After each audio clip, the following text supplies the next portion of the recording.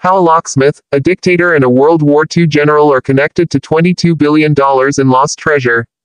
First came the diamond-filled golden Buddha and the box of gold bars. Then came the torture. Roxas v. Marcos was a classic David and Goliath tale, a battle between two wildly mismatched opponents. Goliath in this case was the ruthless Philippine dictator Ferdinand Marcos, a man with a personal fortune estimated in the billions of dollars and an army of thugs and torturers at his command.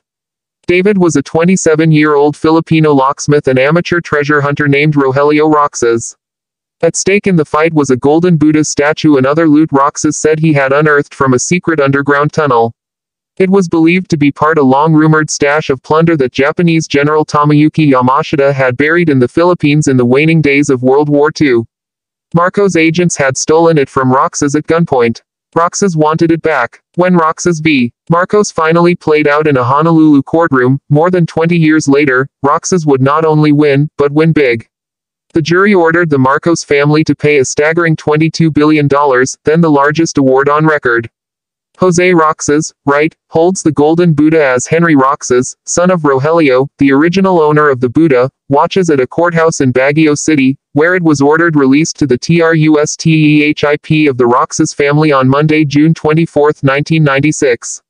A treasure map leads to a golden Buddha, and more. For Roxas, the road to justice was long, winding and often bloody, as he related in his pre-trial deposition. In 1961, he said, he'd met a man whose father served in the Japanese army and had drawn a map showing where the so-called Yamashita treasure was hidden. Soon another man, who claimed to have been Yamashita's interpreter, told Roxas he'd visited tunnels filled with boxes of gold and silver during the war.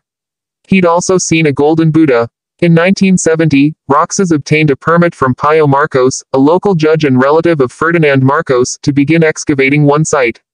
Along with a team of laborers, he spent the next seven months searching the area and digging, 24 hours a day, until they finally hit a network of underground tunnels. Inside they found weapons, radios and skeletal remains in a Japanese uniform. They continued digging, and several weeks later came upon a concrete enclosure in the floor of a tunnel. When they broke into it, they were greeted by the Golden Buddha. Roxas estimated the statue to be about three feet tall and to weigh well over a ton. He said it took 10 men, with the aid of ropes and rolling logs, to hoist it from the tunnel. They then hauled the Buddha to Roxas's house in Baguio City, about 150 miles north of Manila, and hid it in a closet. Over the next two days Roxas returned to the tunnel to see what else it might contain.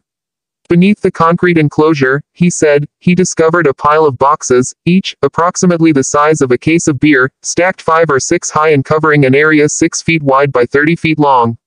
When he opened just one of the boxes, he found it held 24 bars of gold. Several weeks later, Roxas went back to the tunnels to blast the entrance shut. Before he did, he packed up the 24 gold bars, along with some samurai swords and other war souvenirs he thought he could sell. Roxas made no effort to conceal his historic find. He said he tried to report it to Judge Marcos but wasn't able to reach him.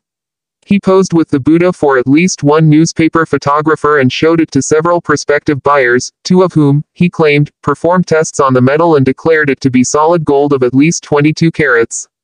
As if a ton of gold wasn't valuable enough, Roxas also discovered that the Buddha's head was removable and that hidden inside the statue were several handfuls of what appeared to be uncut diamonds. A knock in the night, then interrogation and torture. But the young treasure hunter's good fortune was about to end. But the young treasure hunter's good fortune was about to end. At 2.30 a.m. on April 5, 1971, a group of men in military uniforms came knocking. They showed Roxas a paper they claimed was a search warrant bearing Judge Marcos' signature. After beating Roxas' brother with their rifles and terrorizing the rest of the family, the men left. They took with them the Buddha, the diamonds, 17 gold bars he'd sold seven others, the samurai swords, a coin collection belonging to his wife and even his children's piggy bank. Roxas went to the local police and to the media with his story. He confronted Judge Marcos, who told him he'd signed the search warrant on orders from Ferdinand. The judge also hinted that Roxas' life was now in danger from Marcos' security forces. Roxas went into hiding for several weeks but emerged on April 29 after the military turned over a Buddha statue to the local court. Men purporting to represent Ferdinand Marcos' mother offered him 3 million pesos, about $470,000 at the time, if he would say that the Buddha was the one that had been taken from him. Unfortunately, it wasn't even close. Among other things, the bogus Buddha was a different color and its head wasn't detachable. Roxas refused. The following month, Roxas was arrested and held captive for several weeks. Hoping to persuade him to sign an affidavit that the raid on his home had been performed in a peaceful manner, and to provide details on the location of the treasure, soldiers shocked him with wires attached to a large battery, burned him with cigarettes and beat him unconscious with a rubber mallet. Ultimately, he signed the affidavit but refused to tell them more about the hidden tunnels. Roxas escaped his captors, who seemed to have forgotten he was a locksmith, by picking a window lock. But Marcos and his henchmen weren't done with him. In July 1972, he was arrested again and subjected to more beatings and interrogations. He wouldn't be freed until November 1974. President Ferdinand Marcos and First Lady Imelda Marcos at a rally prior to the People's Power revolution that finally saw him ousted as president of the Philippines. On February 25, 1986 he and the First Lady, Imelda fled the country with their family. An NBSP.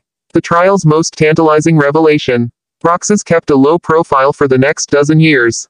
Then, in February of 1986, Marcos was deposed in a popular revolt, and he and his wife, Imelda, fled to Hawaii under U.S. protection. Roxas saw a new opportunity to press his claim that the former president had directed henchmen to steal his treasure. He signed over his rights to a company established for that purpose, Golden Buddha Corporation, in return for company stock. A series of legal actions followed, climaxed by the stunning 1996 jury verdict awarding Golden Buddha a record $22 billion, more than twice the previous record. Whether the money would ever be collected was another matter. Numerous suits and countersuits followed, and the question of how to recover and divide up Marcos' ill-gotten gains was still in the courts as of April 2019. Even so, it was a clear victory for Rogelio Roxas, although one he would never be able to celebrate. He had died in 1993, at age 49 or 50. The official cause was tuberculosis, but, according to news reports, no autopsy was performed and some suspected foul play. The jury award wasn't Roxas' only vindication. During the trial, an American mining expert testified that Ferdinand Marcos had shown him a solid gold Buddha statue with a removable head, which matched the statue photographed with Roxas in 1971. Other credible witnesses testified they had seen the Buddha in one of Marcos' homes or that he or his representatives had offered to sell it to them.